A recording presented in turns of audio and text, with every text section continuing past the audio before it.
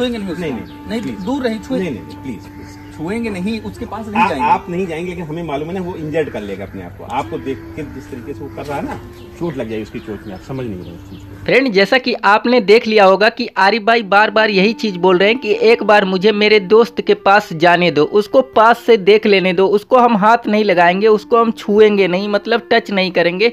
फिर भी लोगों ने इनको अपने दोस्त सारस से मिलने नहीं दिया। आप देख सकते हैं, यहाँ सीसीटीवी द्वारा ये देख रहे हैं और यहाँ पे टच करके ये महसूस कर रहे हैं कि हम अपने दोस्त सारस को छू रहे हैं। तो यहाँ पे आप देख सकते हैं किस तरह से आरिफ भाई स्क्रीन पे यहाँ पे आप देख सकते हैं साफ़ साफ़ दिखाई दे रहा है कि किस तरह से सारस को टच कर रहे हैं। और आरिफ भाई ये महसूस कर रहे हैं कि हम अपने दोस्त सारस को टच कर रहे हैं। तो देख सकते हैं, जैसे कि जब पास से नहीं मिलने दिया गया तो आरिफ भाई सीसीटीवी में देखते हुए यहाँ स्क्रीन को टच कर रहे हैं। और फ्रेंड आप देख सकते हैं, यहाँ पे कुछ अधिकारी भी आए हुए हैं और यहाँ पे बातचीत करेंगे। उसके बाद बातचीत करने के बाद जैसा कि आपको पता है, आरिफ भाई कानपुर चिड़ियाघर में गए हैं तो वहाँ पे इस तरह से आप देख सकते हैं। मीटिंग भी होगा, उसके बाद फ्रेंड यहाँ से मीटिंग होने के बाद आरिफ भाई गए हैं अपने दोस्त सारस को देखने के लिए। जैसा कि आपको पता होगा, कानपुर चिड़ियाघर में कल आरिफ भाई अपने दोस्त सारस से मिलने के लिए गए थे और वहाँ पे मिलने के बाद उनको पास नहीं जाने दिया गया, उनको छूने नहीं दिया गया, बस दूर से उनको दिखाया गया। जहाँ पे सारस बंद था, जिस पिजड़े में सारस था, वहाँ पिजड़े के बाहर से ही आरिफ भाई को दिखा दिया गया है।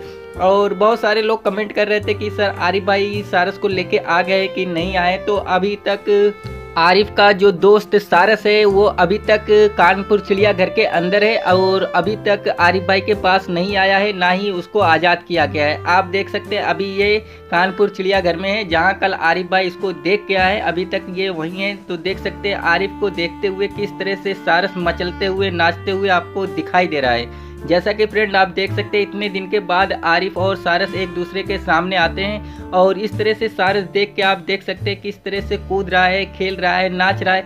आप देख सकते हैं कितना प्यार करता होगा आरिफ से ये सारस।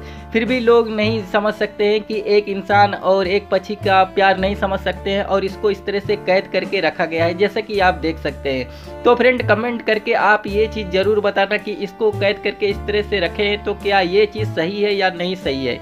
जैसा कि पहले आरिफ भाई के साथ में था तो ये आज़ाद था, लेकिन अभी ये आप देख सकते हैं इस तरह से यहाँ पे कैद पड़ा हुआ है। ना ये कहीं जा सकता है, ना उड़ सकता है, ना कुछ कर सकता है। आप खुद सोच सकते हैं फ्रेंड ये पिजड़े के अंदर से क्या कर सकता है? ना उड़ सकता है ना कहीं जा सकता है। तो फ्रेंड आप देख सकते हैं किस तरह से आरिफ भाई को देखता हुआ यहाँ ये नाच रहा है, देख करके बहुत ही ज़्यादा खुश हो चुका है। और इसको ये लगता है कि अब मेरा दोस्त आरिफ आ चुका है, अब मुझे कैद से आज़ाद करवाएगा। मतलब अब मुझे यहाँ से निकालेगा तो यहाँ पे इस तरह से सारस को यही चीज़ लग रहा है कि अब मेरा दोस्त आरिफ आ चुका है, अब मुझे बाहर निकालेगा। लेकिन फ्रेंड आप सोच सकते हैं कि आरिफ भी मजबूर है। आरिफ के हाथ में नहीं है कि सारस को बाहर निकाल दे। लेकिन फ्रेंड आरिफ भाई हार नहीं मान रहे। आरिफ भाई लगातार यही कोशिश कर रहे हैं और यही चाहते हैं कि उनका दोस्त सारस आज़ाद हो जाए। यहाँ पे आप देख सकते हैं, अखिलेश यादव और आरिफ भाई आप देख सकते हैं, लगातार यही कोशिश कर रहे हैं कि उनका जो आरिफ का दोस्त है, सारस उसको आज़ाद कर दिया जाए। तो फ्रेंड आप इस सारस के लिए एक लाइक ज़रूर कर देना और आप हमारे चैनल पे नए हैं तो हमारे चैनल को भी सब्सक्राइब कर लेना। फिर मिलते हैं किसी नए वीडियो के साथ, तब तक के लिए बाय